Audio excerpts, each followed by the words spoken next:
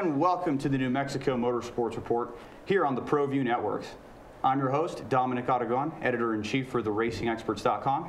And I'm David Swope, host of the New Mexico Motorsports Report on ESPN Radio 1017 The Team. And I'm Brooklyn, sideline reporter for the New Mexico Motorsports Report. A lot of racing action this weekend. Let's take you guys to Richmond Raceway for the final race of the NASCAR regular season. Martin Truex, like always, led the most laps, but in the end, it was Kyle Larson who came away with his fourth victory of the season. He's going to enter second in points, and more on that later. But Joey Logano, who finished second in the race, had to win to make the playoffs, came one position short. Here's what he had to say post race.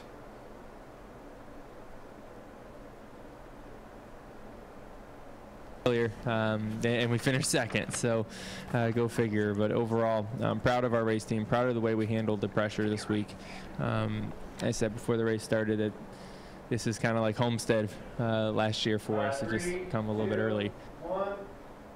Perhaps arguably Penske's golden boy, one position short of making the playoffs. This is his first year running with Team Penske that he will not compete for the championship.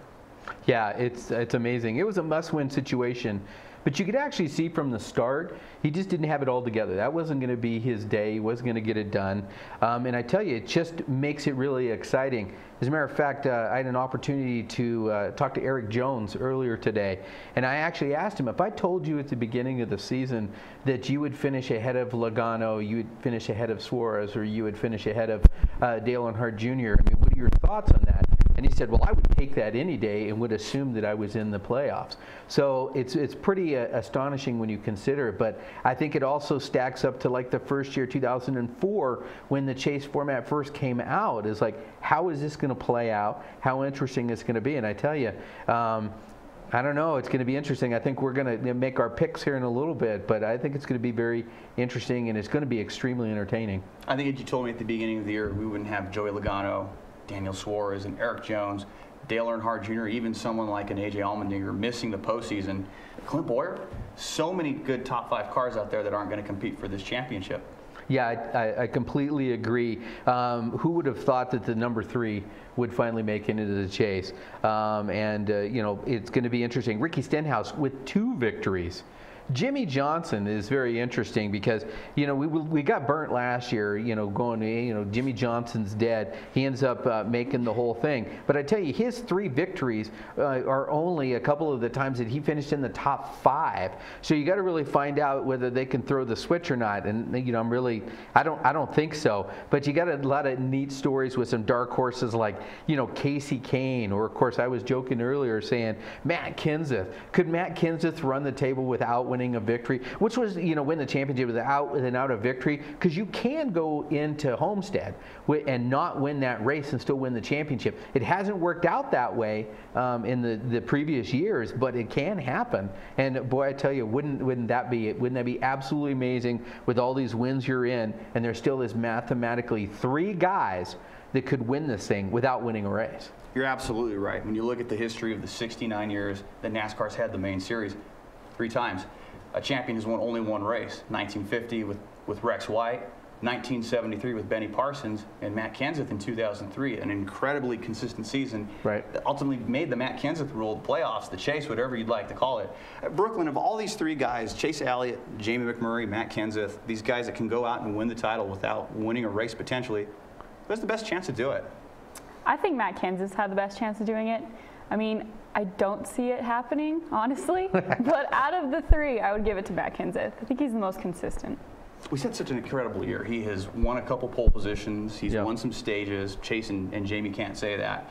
And Kenseth has led a few hundred laps as well. Right. Both, like a majority of those laps come to Richmond, but he is a great all-around driver. Right. He's finished second a few times. Does he advance past his first round? Well, I don't think so. I mean, of course, I'd love to see the chaos of him making it there, but I, I don't think that he necessarily advances um, past the first round. Now, of course, he's, he is driving a Toyota. Um, Toyota seems to be the dominant manufacturer right now, but but I, I don't I don't think that he advances.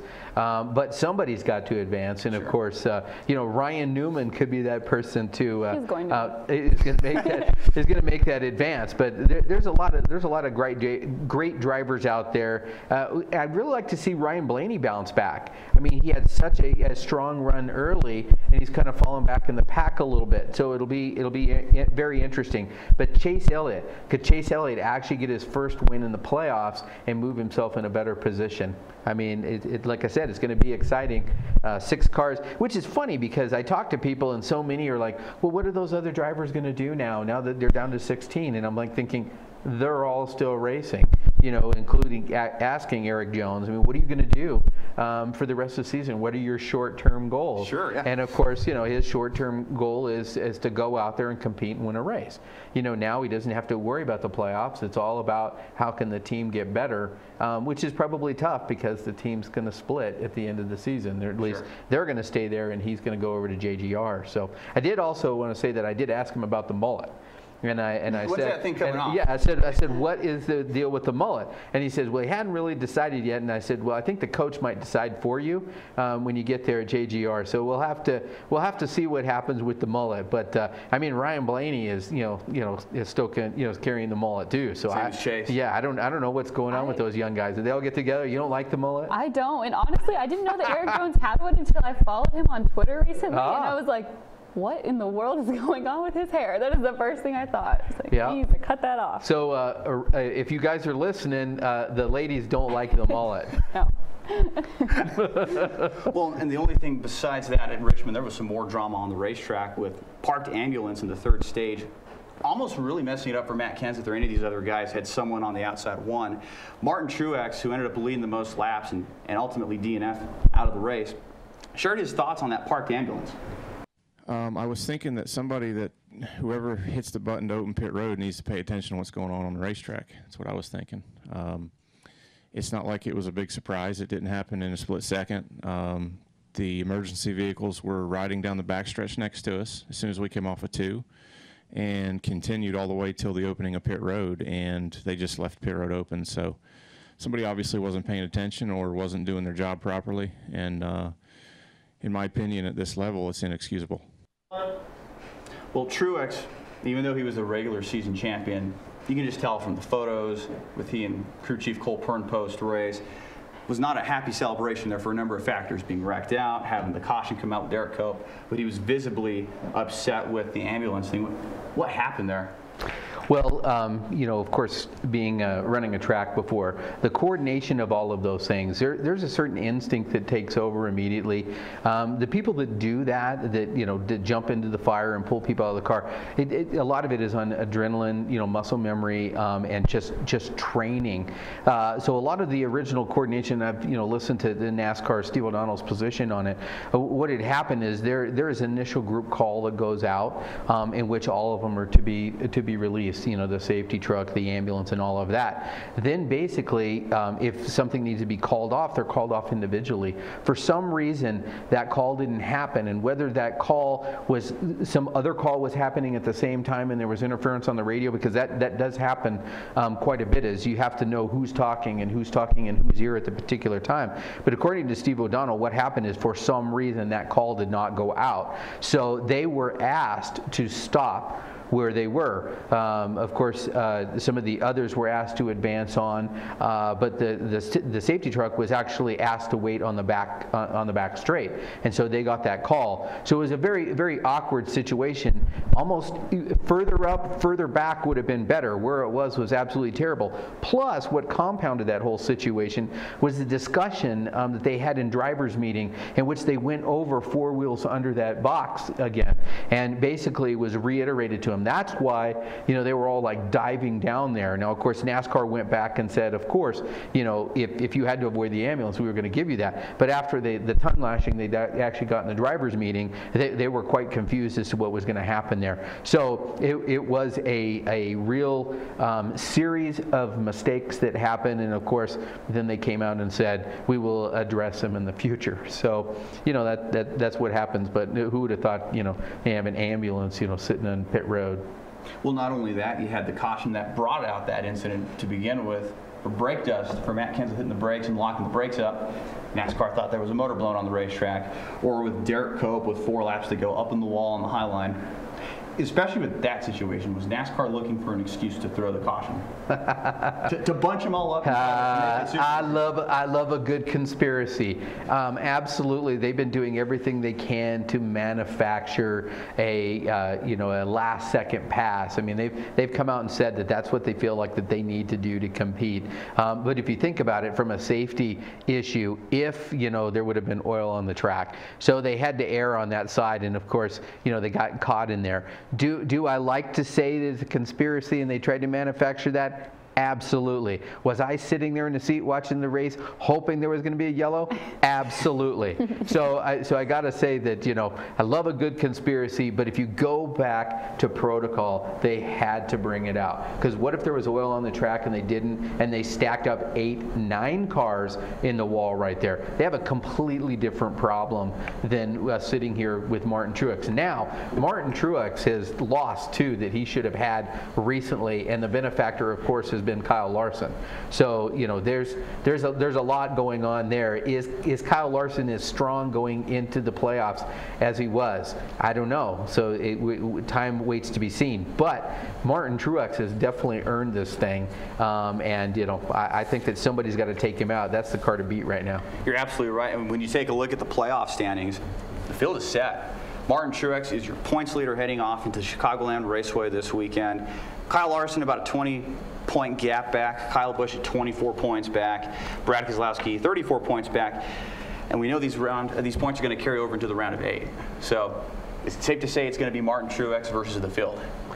I, I think that the betting line has got to be Martin Truex versus the field right now. Um, if if you were somebody off the line you want to place some money on, um, you know, is, is that Denny Hamlin? Is that Kevin Harvick? Is that Brad Keselowski? Those would be some of the people that are off the money line. Um, but you can see from the, the ranking standings, it's a pretty solid field um, through the top eight. Um, from uh, from nine down, um, it's it's anybody's you know pick 'em it can go. But uh, you know I'm, I'm I'm looking forward to you know at the you know end of the uh, the show today we're all going to make some predictions, um, and I and I honestly don't know where the tape is on my prediction going into this season. So um, I, I can't say how bad it might necessarily have been, but I do think that I, I did pick Martin Truex. But I'm going to have to go back and find out. Well, I'll leave you guys with this with Jimmie Johnson. We were talking about it earlier. Statistically, one of the worst seasons of his career. Because he has the three wins, we're not talking about how this team barely scrubbed into the playoffs or how they missed the playoffs altogether. But his only three top fives are his three wins, and two of those wins came with leading not the most laps. Mm-hmm. So, 48 team, are we going to see some struggles through this first round of the playoffs? Absolutely. I think so as well. All right, we'll just have to wait and see. Coming up on the other side of the break, we're going to be joined by Jeff Gordon in studio. You're watching the New Mexico Motorsports Report here on the ProView Networks.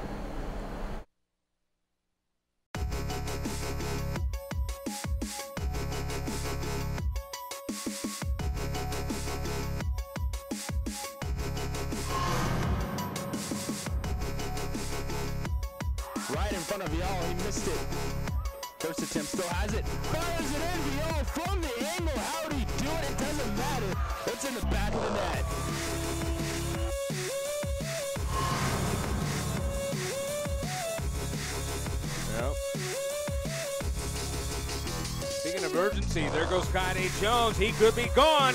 Jones at the 50. One man to try to catch up to him. He's not going to do it. Kanye Jones scores. Touchdown. Sandia, 80 yards.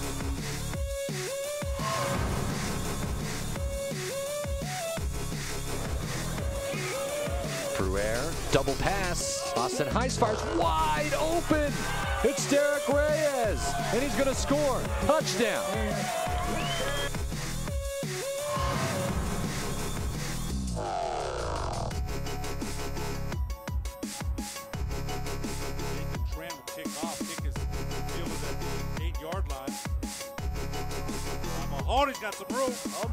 My One man gosh. to beat. Mahoney might be gone at the house. Don't see anyone catching him. Wow. Mahoney is gone. Touchdown. Just like that. After El Dorado scores, Mayfield comes and strikes right back, Roger.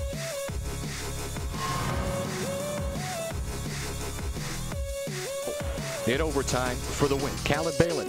He's in. Touchdown. And the Rams have won it.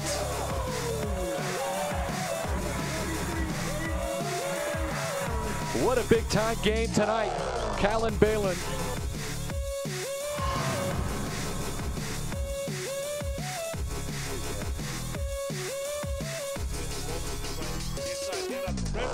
First down and four. 40, 35, 30, 25, 20. Redmond will score. Redmond Troy, 47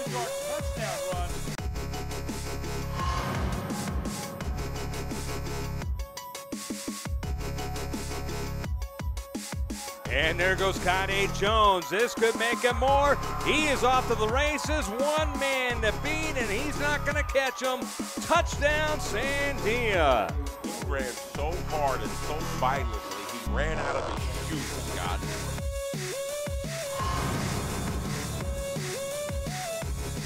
Start the party off in the first quarter. Here's the handoff to Milton. Look out! Milton's off to the races. Shot out of a cannon, and he's going to score. Touchdown. How about the way he accelerated when he saw pursuit?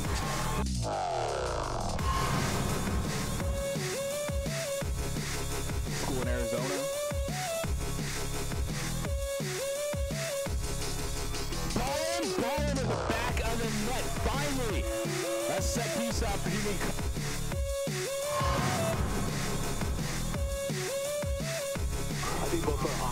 Defense and offense have stepped up.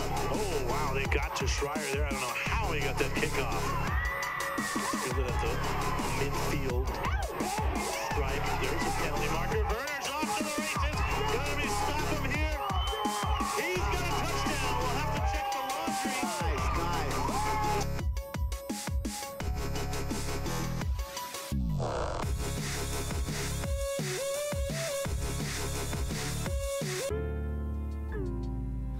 Don't forget, every ProView Network sporting event is on sale at our DVD store. Go to www.proviewnetworks.com to buy your DVD today. Sadie's is a proud supporter of New Mexico high school sports and athletics, and we here at ProView Networks would like to thank Sadie's for their continued support in helping us bring you all of your New Mexico high school sports coverage. Duke City Sports Bar. Proud supporter of ProView Sports and New Mexico Youth Athletics. Catch all the sports action from high school, college, pros, and MMA on one of our 35 HD TVs. Start your night off right with any selection from our delicious menu prepared with fresh, never frozen ingredients. Duke City Sports Bar, Albuquerque's newest sports bar. Located on Eubank and Montgomery, dial 505 433 4020. Ladera Golf Course. Open in 1980, Ladera features a full 18 including spacious greens, a large driving range, roomy practice putting greens, and four large lakes. Surrounding Ladera, beautiful views of the Sandia Mountains to the east and volcanoes to the west. Ladera is a challenging city-owned course with the longest playing yardage of any other city courses. For weekend tee times and more information, call 505-836-4449. Don't sacrifice quality of flavor when you're in a hurry. Golden Pride offers ribs, fried chicken, green and red chili breakfast burritos, and Frontier Cinnabons. Four great locations, or visit us online at goldenpride at Golden Pride Barbecue Chicken and Ribs, proud supporter of ProView Sports Network. Well, I'm going to the frontier, walk to the cashier, order up a root beer and a number one. Cover it with green stuff, one scoop is not enough. Find a booth is real tough, back by the Duke. Meet my family, meet my friends in the quirkiest restaurant I have ever been. All of Albuquerque's favorite spot. It's the Frontier Restaurant. The Frontier Restaurant is a proud supporter of ProView Sports Network. Looking for some exhilarating fun? It's at All Out Zone. All Out Zone showcases Nerf Dart tag games from team elimination battles to human versus zombies, pitting two teams against each other in fun, organized chaos with trained referees, music, and a full arsenal of Nerf blasters. You need team parties, birthday parties. We can customize the party to fit your needs. Visit us at the Coronado Mall. Give us a call 505 444 6964. All Out Zone. All right, welcome back to the New Mexico Motorsports Report here on the ProView Networks. I'm your host, Dominic Aragon, joined alongside analyst David Swope. We've got a very special guest here in the studio joining us. Yeah, sorry to disappoint. I am not the Jeff Gordon you probably were thinking of, but uh, I do have the same exact name, first, middle, and last name, which is strictly a coincidence. So, yeah. Uh, we weren't lying when we said Jeff Gordon was joining us on set now, were we? We, we were not lying. Um, but uh, I, I, I got to ask you first off, what's your, what's your lucky number? Um, actually, I'm going to be honest with you. Every time I did like YMCA stuff, I picked 24. Like, awesome. I'm like, you know, I heard it my entire life. I might as well keep on going with this, and it was a lucky number for me. That's so fantastic. yeah. And there were some other weird coincidences along the way, like when Jeff Gordon announced his retirement was actually on my birthday. Oh, wow. Which was two years ago, I think, is Yep, when in did. 2015. Yep. So yeah, some weird coincidences there. Um, if you've ever seen the movie Office Space, it's kind of like that. The guy whose name is Michael Bolton, and everyone asks him like, "Oh, you must love Michael Bolton's music and stuff like that." It's a little bit like that, like living with this name. So yeah. So, about how old were you when you first discovered that, hey, there's somebody out there with my name who's famous? Um, it was about second grade and I was really into Power Rangers still back then so it was kind of off my radar but then I started to you know pay more attention to Jeff Gordon and things like this. I had a DuPont jacket when I was little. I had like the Matchbox cars and I had all the things like that. I didn't like Dale Earnhardt for certain reasons just because Jeff Gordon you know was my guy. You know I had like a certain kind of weird connection to him so, Sure. yeah. Did you ever get the chance to go to any races and go root them on? um, I haven't like. You know, like I did live in Texas for a while, and I know there's some speedways out there, but I unfortunately didn't get the chance to go out there and do it. But it's something I want to do eventually, that's for sure. So, yeah. Did you ever get an, an opportunity to, to go out and drive a car or, you know, do, do one of those driver experiences or anything? The, the closest I ever got to racing was I was reeling Fast and the Furious in high school. Awesome. So racing down Montgomery on Friday nights, that's probably the closest I ever went to something like that. Yeah, I mean, not But that we yeah. condone that or anything. Oh no, maybe I didn't do that. Just kidding, guys. Well, I, yeah. I, I did beat a 440 dart one night on, on Montgomery in a, in a 67 Nova Super Sport. But but we're not talking about that. But uh, uh, but absolutely. So I got to ask you, what's your, your favorite Fast and the Furious? I like the fifth one. Oh, good choice. It's a good one. The last one was not good. I do not recommend that one. Right. At all. But yeah. Are we talking about seven or eight? I'm talking about eight. Like Okay. when you when you bring submarines into a car movie, you know, I think it's time to probably end that franchise. That's all I'm saying. So yeah. Well, I totally agree. I, I'll have to say that my favorite is actually number three, Tokyo Drift. That is a good one. And part of it is because that's that there's the time change. You know, I mean, this is this is supposed to have to happen after, and how do they deal with you know uh, with uh, Paul Walker and the whole the whole bit? But now the whole franchise, the whole franchise is is, is great. I you know I don't like bringing the Rock into it, but you know anyway, You the bring it back car is the star. Yeah, exactly. Yeah. And that's what they need to go back to. Like, you need to bring back all these old school cars, like the old Charger that um, Vin Diesel drives in those movies. Like, I have a Dodge Charger now. It's not the cool one. It's the four-door sedan one. But uh, yeah, I do love uh, sports cars, American muscle, everything like that. Um, favorite car of all time, I would say, is probably Dodge Viper. Nice. Uh, um, Very that's nice. just been ever since I was little. Um, I know NASCAR's normally Chevy is what. So, you're, you're not a. GM guy like the, the four time champion. I, I'm not. That's where we actually differ. Is right there. So yeah. You know, you know what I think we should do sometime would be a lot of fun is is to reserve a um, a rental car as Jeff Gordon, you know, and and you know see what they see what they do, and you walk in with the 24 jacket and the whole bit, you know, because the whole gag about like when he takes the car out and does the test drive. Oh, yeah. Oh, that would be. We, we should do that. I'm we, game we for should that. anything. All right. So yeah. Set that up. All right, watch your you watch maybe we'll have a hidden camera segment on this show in which we go and do that. Let's do it. Can oh. as long as I can have a fake mustache like. Uh, hey, you that was Pepsi that was commercial, that was great. Yeah. Yeah. Yep. The glasses, the hat, the whole bit. Yeah, let's do the whole thing. And I, I maybe I'll just wear a DuPont jacket just because you know. Well, it'd be know. Axalta now since it's not DuPont. Oh, see. But still well, the same- why you guys still the same are thing. the racing experts, and I am I am just over here as the guest. So yeah, We love it. Why, yeah. So, having that name Jeff Gordon, is there any fun stories or any cool experiences that have become or that have come out because you've had that Like name? free food? Did you ever get free food for I it? mean, me and Dominic, we go, we go to the heart hospital to get food sometimes, and they always write like 24 on my breakfast burritos, or they drew a car on it last week, which was mm-hmm. funny. So like, there's surprises like that. Uh, Uh, first day of school was always really weird because like. they would call all the kids out by their first name only. It's like, oh, is Matt here? Is what? Is Stacy here? Is Jeff Gordon here? I'm like, please don't say my full name. now I have to explain things. And no, it was not a coincidence. He didn't come along till I was like five or six, and then you know it kind of went from there. So yeah. Wow. Yeah. Um, have, have you ever been to a sprint car race? I mean, you had a chance to go and watch. I mean, that's where Jeff Gordon got his start. You know, is uh, uh, wing sprints. I mean, I think that we got one probably coming up this weekend. We hey, we get some free passes for Jeff Gordon out of Sandia Speedway. I'm I'm down. You We're guys give me that? some All free right. food. Give me some free passes. I am down. I hope for Charlie's anything. not watching this show. Yeah. yeah. Charlie, I don't know who you are, but uh, thank you in advance. So Oh yeah. You have the Jeff Gordon at your racetrack. Yeah. You know, the funny thing about that, like on Twitter, like I was tweeting at Jeff Gordon one day, like he's never responded. But like I was looking at Twitter handles and then like the real Jeff Gordon is available. Ooh. I'm not going to do it because or maybe I should. I don't know. But yeah. Dom, do it. Yeah. You should I should it. do it and scalp the domain, right? You should. Scalp Yeah. the handle. You might and do like the realjeffgordon.com. That could be your website too, Dom. Oh, like there we go. I'll have a up to you. redirect to the race Yeah. experts or the New Mexico Motorsports Report.com. All good. Yeah. We could put up a landing page and then redirect. Yeah. Yeah. There we go. I, I like like it.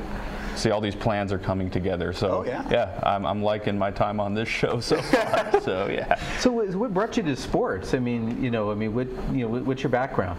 Um, like, I, I always wanted to be a sportscaster ever since I was in second grade, and um, like I, I started doing some stuff out here, and then I finally got my first on-air job in Midland, Texas, and um, I was really bad for a really long time. I'm like, this person should not be on TV, and I was on at like five or six in the morning. I would do like, I would take whatever the guys did at night, and I would change it up in the morning and everything, and I was really scared for a long time, and eventually, I, like things got better. I got a little more comfortable, and it was fun. Like covering sports is. Uh, something awesome because like you know not a lot of people get to do it and it was awesome for the time I got to actually be a part of that so What's your favorite sport? um, football Uh-huh. NFL so um, Broncos game spoiler alert I was going crazy at Buffalo Wild Wings last night so yeah it was a fun time but they won so yeah I'm happy Wow. Yeah. Being a Chiefs fan, you know, we oh well we, we basically had our Super Bowl, so we're we're, we're good. We're done now. Good for another so 16 weeks. We're good for another 16 weeks. That, that might have been the only time I went for the Chiefs in my life but uh, yeah it worked out Well, as a Broncos fan. yeah, Yeah, exactly yeah, exactly. There, there's a higher I'm glad Dom's out there, between us so as yeah. a Packers fan. Yeah, exactly. So neutral Super ground Bowl here. 32, never forget. So 30, yeah. 31 to 24. Oh yeah. Well, there we go. Yeah. Yeah. We could bring out numbers all day. There we Yeah. go. Almost 24. No, Yeah. 24. Look at all these coincidences. Yeah, right? it's Yeah, total coincidence. Exactly. Crazy, crazy, crazy. This was not planned at all. So yeah. So what else keeps you busy during the week? Um, like I'm a news producer, so um, yeah, that's what keeps me pretty pretty busy during the time. Um, got a like. I got a German Shepherd puppy at home that uh, takes the rest of my time. So yeah, that's pretty much. Uh, Did you what name the dog Jeffy or Gordon or something? Um, his name is Peyton for Oh, okay. obvious reasons. Oh. so yeah, yeah. There you go. There's a little curveball. Yeah, Yeah. there we go. Absolutely. I, I didn't want to name Jeff Gordon Jr. I think that would have been a little weird, but yeah. Yeah, that might be. You, you you get still got that one in the chamber. You know, Oh, I so, could. Yeah, I, yeah. I could use that anytime I want if I want to do that to a, like a potential kid's life in the future. There But yeah. Yeah, JG Jr. Yeah. Well, hey, Yeah. we're, we're, we're going into the playoffs, but we got to ask you a little fantasy football. I mean, what's Mm-hmm. what, what, what's the best sleeper pick? Well, I mean, we we were talking about the Chiefs. I mean, of course, you know that had to have been a heck of a pick if anybody played him. But uh, what's what's what's a good uh, a good pick for uh, fantasy football? I mean, this year, I think a lot of people were, they didn't know when Ezekiel Elliott was going to come back, Right, and they took him in the second or third round. That was obviously didn't work out, so whoever got him probably has paired him with a really good first round pick. So who, whoever picks Zeke this year, I think is probably going to do really well. and I'm not just saying that because he's on my team. So Oh, okay. yeah. Yeah. How are your Broncos going to do this season? Um, Trevor looked really good last night for the very first game. Um, going forward, the offensive line is improved. Um, I'm thinking maybe playoffs again, but it's a pretty tough division, so we'll see. Is Siemian a scary name to say on TV? It is, and it's really hard to spell. It took me a really long time to actually learn how to spell that name. So yeah, Awesome. Excellent. Well, Jeff, we appreciate you stopping by our studios, and you're welcome back anytime. Awesome. Thank you, guys. So you can read more about Jeff Gordon in this month's edition of the New Mexico Motorsports Report magazine, set to hit shelves this Friday. You can pick up a copy at any of the local Napa Auto parts dealers throughout the state and at Yearwood Performance and at Car Crafters. I'm Dominic Aragon, and you're watching the New Mexico Motorsports Report here on the ProView Networks. Gardenswartz Team Sales is a proud supporter of ProView Sports Network. Get into the game. Gardenswartz Team Sales features fine products and apparel from Wilson, Schutt Sports, Speedline, and Russell Athletics. We offer custom embroidery and screen printing services for all of your school or club needs, from team uniforms to school letter jackets. Specializing in all sports and serving all communities, from big schools to small schools, from up north to down south, or all points in between. Gardenswartz Team Sales for great prices, friendly staff, and quality products. Call Gardenswartz Team Sales today at 1 800 880 7767.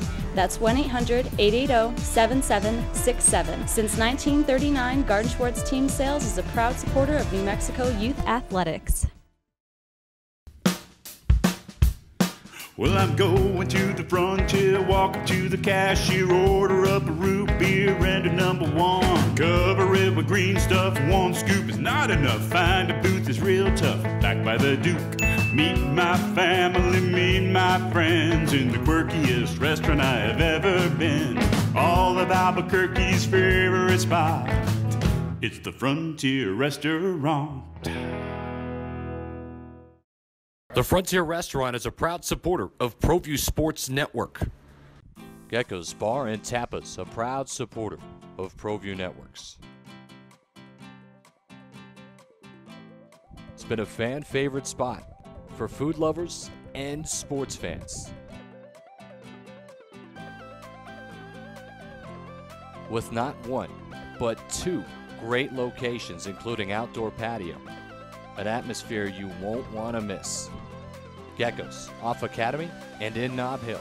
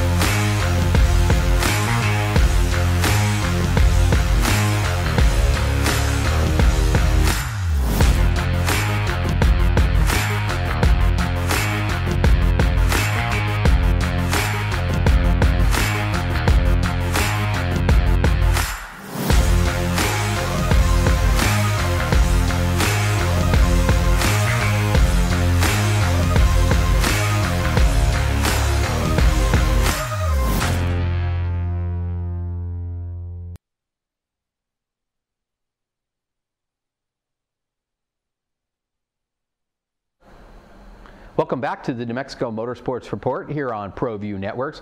And joining us right now is a uh, legend from racing, four-time Indy 500 winner, Al Unser. How you doing today, Al? Good, David, and you? I'm doing. Everything's good with you? Everything is fantastic. Golly, that's good. I'm glad I'm able to still be here talking with you. Absolutely, absolutely. As a matter of fact, I was going to ask you, how's your summer going? It's doing good, you know. Sue and I are up in Chama. Yeah. Uh, up there, and we're enjoying the, the cooler mornings now, and and uh, getting ready for the snow to come, so I can go snowmobiling again. Well, we'll get to the snowmobile racing in just a second, but but tell me about the alpacas. Well, my wife Susan is the one that has the alpacas. Yeah. All I do is just kind of look at them. and when they talk to me, they they not sure what I am. So, but no, they're really need animals. They're, and Sue's got them kissing her and, and everything. She's a remarkable lady about Absolutely. taking care of animals. Absolutely. That Yeah. well, that, that's fantastic. But uh, snowmobiling. So you guys still get out there and and uh, race each other with the snowmobiles, or Well, that's not anymore, but but sure, it's I still go out riding. You know Right. those those days of souping them up and and uh, going after who's the quickest, those days are over, David. Yeah, yeah. Well, I believe that. Uh, um, but but anyway, um, appreciate you coming on the show. Um, we haven't had an opportunity to uh, to interview you yet on our TV show, uh, so I wanted to talk to you a, a little bit about the museum. Um, you continue to uh, uh, to expand and put new things in there. Uh, Right. but but talk a little bit about. Uh, especially the expansion's been a couple of years now. Yes, it's three years old now. The wow. And so, you know, we have a, um I understand, a Duesenberg, 1930 Duesenberg that's going to be loaned to us at the Wow. museum. And if you've ever seen a Duesenberg, I mean, these are beautiful, beautiful cars, you know, 1930. Yeah. And uh, so we're anxious to get it, and, and so you'll have to come down and see it because it Absolutely. is a work of art. Do you work with other museums that you kind of like will trade a car or anything like that? How, how does that work? It works out because we we we have a car up at uh, Johnny Unser's okay. at the go kart track in Denver. Great. We have one at Phoenix at the uh, World of Speed down there museum. Awesome. And uh, we have several of them around, and and plus. We have, you know, cars that they've loaned us, so we kind of keep changing the atmosphere Right. in the museum of new new items to where you don't see the same thing all the time. Yeah, it's a neat combination of um, education and history, and and and I, I love when you bring other things in too, because I mean, you guys are open. I mean, other than uh, Thanksgiving and Christmas, I mean, you're open daily, uh, ten to four. It can go down there and seven days a week. Yeah, and, and you're often there too. You know, so you get some Yeah, get some people, stories. you know, it's really neat because I'll walk in there or be in there, and some people come in, and they just kind of look, you know, they look at you, and I'll say, "How are you today? Welcome to the Racing Museum." You're really him. I said, "Yeah, that's I'm just me, another person." yeah, it's it's pretty amazing that it's been 30 years since your last victory. Um, how, what, what kind of perspective is that? I mean, it, does it feel like it was just yesterday? Does it feel like it was a lifetime ago?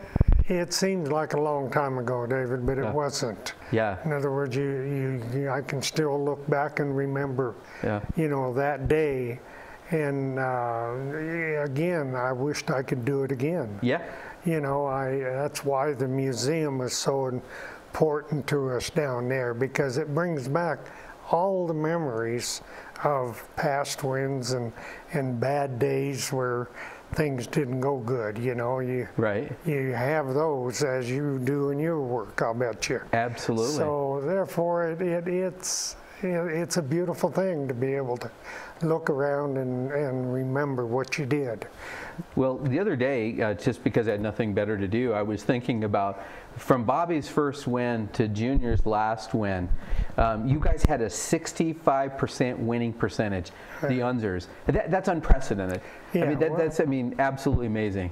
Three of us, you know, thank goodness. Yes, yeah. My brother, whoever he is, and my and my son. He who we do not mention. Yes. That's right. yeah. no, we we still enjoy talking and and uh, uh, reminiscing about old races and. He says, "You remember when you cheated?" And I said, "No, no, Bobby, that's you." Right. So, so it's fun. I mean, was there a favorite driver, or because I, I, you know, I, you know, somebody that that you worked with that is probably like the best friend you had out of that? Is any you know people that you still stay in contact with? Yeah, there's lots of them. In Yeah. other words, you, when you ask a question like that, you know, Foyt, yeah. Parnelli Jones, Yeah. Jim Hurtubise, Jim McElreath. There's just so many Yeah. that when I was coming up that I just envied. Yeah. You know, I would look at them and say, man, I hope one day I can be like they are. Or one day I hope I can outrun them. Right. you know, and it, it's a, and then all of a sudden a dream come true. You know, Right. you're you're competing against them, and then you're outrunning them, and and uh, you know, I can just remember uh, looking at their rings and everything, you know, and thinking, boy, I, will, I hope one day I can have one of those. Yeah. And sure enough, it came true, and, and it's neat. I'm glad you mentioned AJ Foyt because uh, I've had a conversation with, with several people about, you know, probably the, the best pure driver. Um, because he, he won in you know stock cars as well as um, as open wheel. And, Yes. um, I, I- I mean, is he as is he as fiercely competitive in, in real life as, as, as he seems? Yes, he is. In other words, he, he, you know, I uh, look at him still today, and um, you know, just admire the man because he, he did race. He raced hard.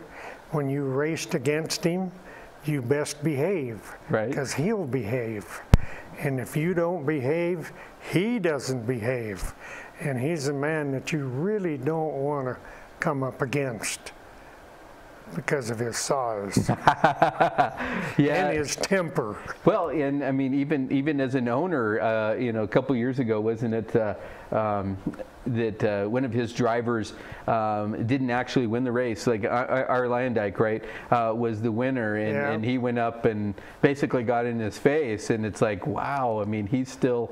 Yeah, he. I don't think he's like that anymore. Foyt, I think Foyt uh, tries to be the gorilla, and Right. he, he really is, and He has a big heart, and he's a he's a just a good man, and he's a well-behaved race car driver. Honest. Yeah. He doesn't appear to be, but he is. Wow.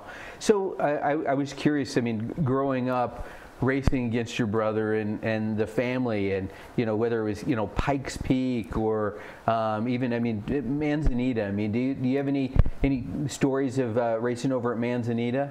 Oh yeah, there are several features I should have won over there, and somehow or another somebody else outrun me. Yeah. You know, and his name was Bobby. but Bobby, you know, he was good on the half miles and mile racetracks, and uh, so.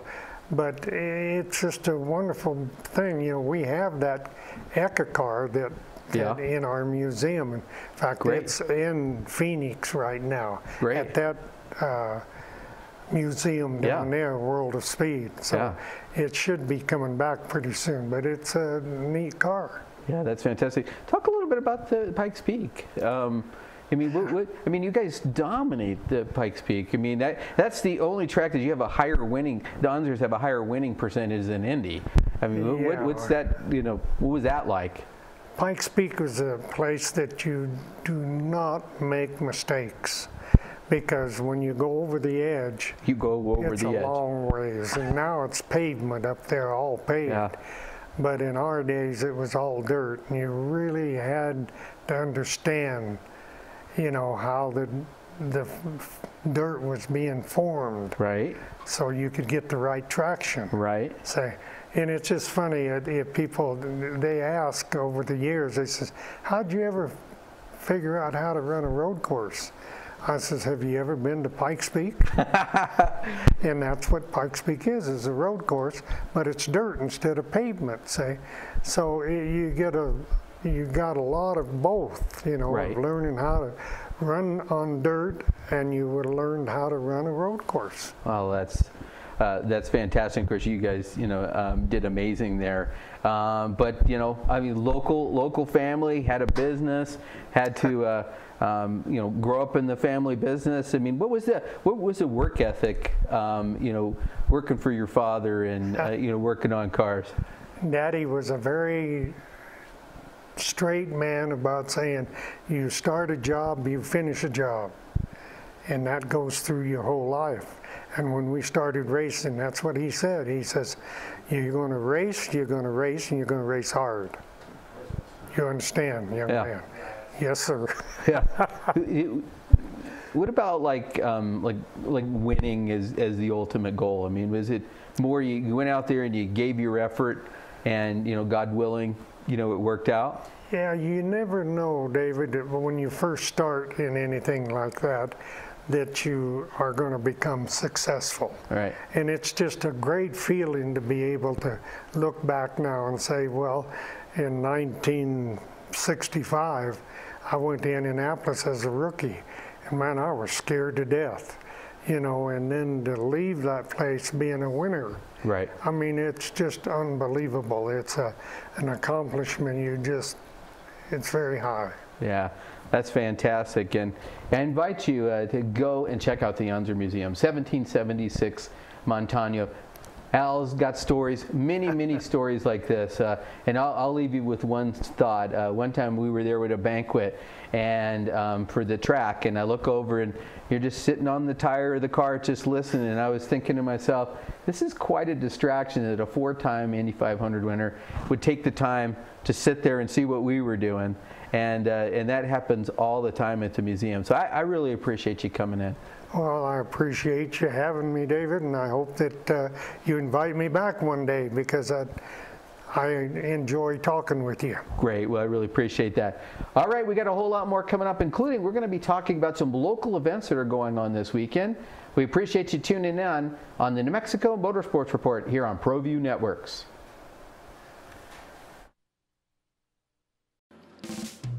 Ladera Golf Course. Opened in 1980, Ladera features a full 18 including spacious greens, a large driving range, roomy practice putting greens, and four large lakes.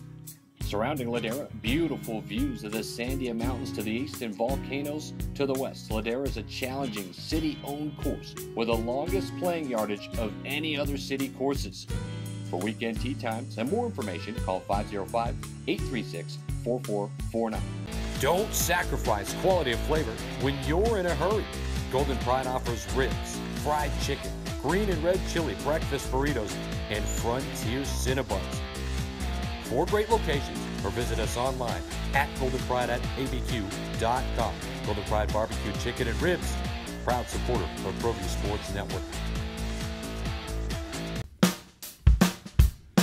Well, I'm going to the frontier, walking to the cashier, order up a root beer and a number one. Cover it with green stuff, one scoop is not enough. Find a booth is real tough, back by the Duke. Meet my family, meet my friends in the quirkiest restaurant I have ever been.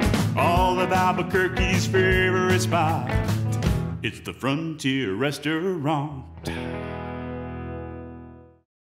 The Frontier Restaurant is a proud supporter of ProView Sports Network. Looking for some exhilarating fun? It's at All Out Zone. All Out Zone showcases Nerf Dart tag games from team elimination battles to human versus zombies, pitting two teams against each other in fun, organized chaos with trained referees, music, and a full arsenal of Nerf blasters. You need team parties, birthday parties. We can customize the party to fit your needs. Visit us at the Coronado Mall. Give us a call 505 444 6964. All Out Zone. Duke City Sports Bar. Proud supporter of ProView Sports and New Mexico Youth Athletics. Catch all the sports action from high school, college, pros, and MMA on one of our 35 HD TVs. Start your night off right with any selection from our delicious menu prepared with fresh, never frozen ingredients. Duke City Sports Bar, Albuquerque's newest sports bar. Located on Eubank and Montgomery, dial 505 433 4020. Welcome back to the New Mexico Motor Motorsports Report here on ProView Networks. It's time to talk a little bit about local racing. Um, this weekend, Saturday, September 16th, we've got the Rattlesnake Rally at Sandia Motor Speedway where the non-wing sprint cars are going to hit the oval track. Um, also, at ABQ Dragway, we've got the Street to Strip, Street Legal Drags, Test and Tune, and Time Trials. Driver price is just $20 and spectator price is 10 A lot of cool happenings locally going on. Also on the national scene, we're wrapping up a championship this weekend. Yeah, absolutely. The final race of the IndyCar season takes place this weekend at Sonoma Raceway. Six drivers are el eligible for the title. Josef Newgarden enters the uh, the race with a lead over Scott Dixon of just three points. Helio Castroneves, Simon Pagenaud, Will Power, and Alexander Rossi still have a shot to win the title. And I tell you, it's, it's going to be a battle. And uh, when you look at it, Scott Dixon having an opportunity uh, to get this done uh, is kind of scary out of everybody. But I was thinking to myself, of all of the Penske drivers, who has the best shot? Simon Pagenaud won last year. Will Power um, has has won. Helio Castroneves is the master of finishing second. Could Helio Castroneves actually be the benefactor of the terrible race that Josef Newgarden um, had uh, on the last outing at Watkins Glen? It's going to be worth seeing, but I tell you, the real winner is everybody afterwards when they get to go to Napa Valley and enjoy it. I mean, you know, you should probably tell us about how good the wine is in Napa Valley. Oh, it's great. We had some experiences out there at Sonoma Raceway. Those are stories for another day. Absolutely. But, no, Sonoma's a great way to wrap up the championship. And Yep. there's six guys eligible. Only two control their own destiny, though. So Yeah. Scott Dixon can go out and win. And he controls his championship hopes. Same with, with Josef Newgarden. But look at Helio. He could go out there, win, lead the most laps, and he could still finish second in points. Well, and I think that most of the drivers would be happy with that. Of course, they're not. They're, they're not going to say that. Uh, but the question would be: Would they be more happy with Helio Castroneves winning um, and staying in the series, or losing and going on to you know sports car racing? So it's you know kind of kind of hard to say there. But he he is a fan favorite. A lot of the drivers uh, really like him. Probably the least liked out of the whole group is, is Will Power. But I will say that the neat battle that could come down is if the cards were right for Alexander Rossi, you could have a battle between two Americans for a chance to win this championship. And that hasn't happened in a long time with Alexander Rossi and Josef Newgarden both having a shot. Newgarden has just been on fire other than Watkins Glen just wasn't a good race for him. But, uh, you know, I don't know. Maybe, you know, the, that freshman luck, maybe he'll, maybe he'll get it done. No, absolutely. And, and looking at how far back Alexander Rossi is, Yeah. he's going to need a lot of things happen to his competitors to try and win that title. Well, almost everybody's got to wreck out together, and they got to wreck out early. And he's got to have the pole, so he's got to get all the extra bonus points on top of it. Make it a match points day. Absolutely. And if he was to end in a tie, uh, we could go to a tiebreak if it came down to Helio Castroneves and Simon Pagenaud because they all only have one win. Actually, correct that. If he wins that, he would win on the tiebreak. So he could end in a tie with those two because, of course, they would not have won. It's all about math, Dom. It's all about math. And I tell you, he's probably too he's too far back, um, but still exciting that because in the past they've gotten to where you know this is basically decided with one or two races to go, um, not as much to deal with, which is why they put the double points race in, which I'm against, by the way. But that's why there's a double points race for the last race. Certainly makes it more interesting. Now, looking at this race weekend coming up, we know Helio Castroneves might be his last race here in Right. Who are some other drivers that may be making their final start in this series? In IndyCar, with Tony Kanaan, for one, might be. Uh, I, I'm still fascinated by the fact that um, the manufacturers tend to stay with the drivers versus being, you know, the sponsor kind of follows that whole thing and they dictate that. But Tony Kanaan might be without a, a ride because of the changes that are going on in Andretti. Andretti is staying with Honda, uh, and of course, we know that Alexander Rossi is going to be there. Because I really wonder if, if Helio Castroneves was gone, then I know that the captain Penske was going to go after Rossi and try and get Rossi. So I think that that's why all that thing happened. But as far as like silly season stuff, nothing is better than um, what's going on over with uh, Smithfield and Almirola. And uh, I know Brooklyn's got some information on that. Motorsports.com is reporting that Smithfield Foods will be pulling their sponsorship from the number 43 car at the end of the season. Smithfield Foods has sponsored the team in Almirola since 2012. The outlet also reports that the company should be moving over to Stewart-Haas Racing next season. Almirola is free agent at the end of the season. And, and to add to that drama, Danica Patrick released a statement today. She will not be back with the 10 team in 2018. She said it was her honor to drive for Tony Stewart and Gene Haas, but knowing that sponsorship does play a vital role in professional sports, she's out and she wishes the best of luck to the driver and the sponsor as they move forward to 2018. Is she done at the end of the year? Is she running her last 10 races of her Cup Series career? I hope she's not. I think I'm being a female in NASCAR, it's important to have one. And um, I hope she's not gone because I think it's going to lose a big fan base if she does. She did bring a lot of following over from IndyCar. Yes, she did. Um, I, I don't think she's going to return to open wheel racing. Um, really, if you take a look at it, with what she's been doing with her clothing line and, and you know different things, um, she's got herself set. I mean, she's she's ready to do something else. And of course, you know, I mean, she may be wanting to have a family um, and to enjoy the other fruits of her labor and you know the rest of the rest of her life. But uh, I likewise, you know, think that it'd be a little bit of a loss um, to lose her. I mean, she is she is one of the fan favorites. Um, it did bring other people into the sport. But I think likewise, the, the reason that uh, Smithfield is moving, and I really, it hasn't been announced yet, but we can go ahead and basically talk about it now. I think uh, Almirola is going to wind up in that car. I think Almirola is going to be in the 10. Smithfield is very happy with him and you know and they want him to have a chance to be successful. And i think that at, at stewart haas he has that chance. So you bring the backing. At least he's got a one year shot right? Because we know that that seat's being kept warm for cole custer mm-hmm. eventually but almirola's got a shot to actually show what he could do. What that does is that it does open up the 43 and bubba wallace an opportunity to come into the 43 and i think that that is going to happen as well. And i think that likewise is going to be very good for the sport. Um, so so, you know, these seats are starting to to fall. You know, Matt Kenseth, where's Matt Kenseth going to fall? He's still out there. It's absolutely amazing when you consider how some of the people aren't coming back, um, or we don't know where they're going to be, and, and they're starting to run out of chairs and the, the, sponsorship situation is very is very very important. But but Smithfield and what Almirola has done for them, he is a fantastic spokesperson for that. Yeah. Now I trashed on him last time. We all know that I said the 43 would not wind up in Winter circle unless someone else was driving it. I might have been right. I didn't necessarily mean it was going to go this way, but but uh, Tony Stewart, very very smart businessman. If he sees that opportunity, um, and you know Almirola going, you know basically, um, uh, you know into another Ford, you know it's not as big a difference. You know. And this is somebody that he sees as a personal friend, looking at, at, Tony Stewart's personal things outside of the racetrack. Kyle Larson, Ricky Stenhouse, Aric Almirola. These are people who he mm-hmm. associates with outside of racing and considers his friends. Right, absolutely, and and you know nothing makes more friends than winning. So he gets over there and starts winning. But you got to wonder, you know, I mean, what what's going to happen um, with Kurt Busch? You know, I mean, Kurt that's Busch still up in the air. Yeah, that's that's up in the air. I mean, I I, I really really believe that um, that Richard Petty Racing, uh, Richard Petty Motorsports is going to stay a one car team. I mean, when you saw them uh, reduce the size of their of their leasehold, the situation is is they're going to stay a one car team.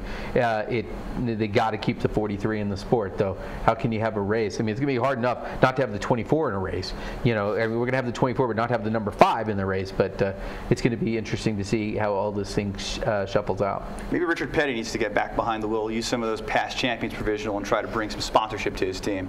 He could. He hasn't run in over 25 years, though. Richard Petty was always my family's favorite, so I'm for it.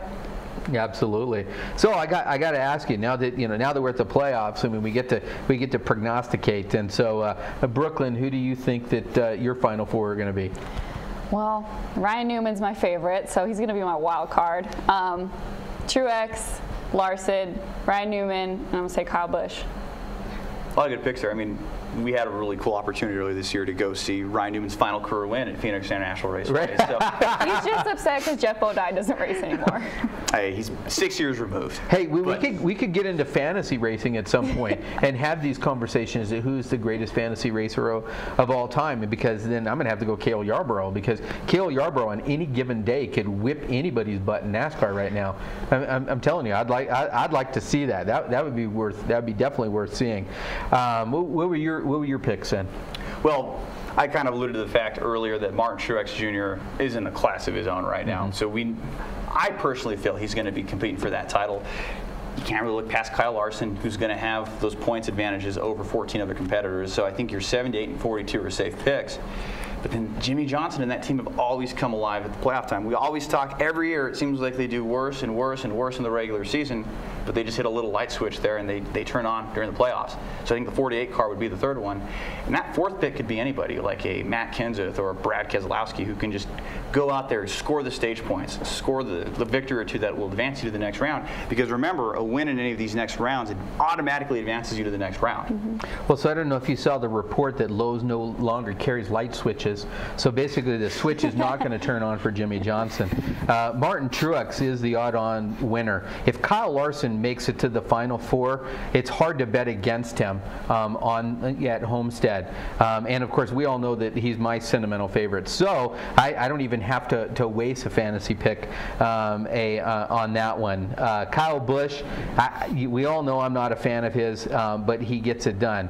Uh, My fourth is actually going to be Kevin Harvick. I mean, it's hard to pick against Kevin Harvick, uh, but you know, this is also on tape. I could erase this whole thing. and it won't even matter, right? And it won't even matter. Well, it looks like we're out of time here on the New Mexico Motorsports Report. For Brooklyn Green and for David Swope, I'm Dominic Ottagon. Tune in next time.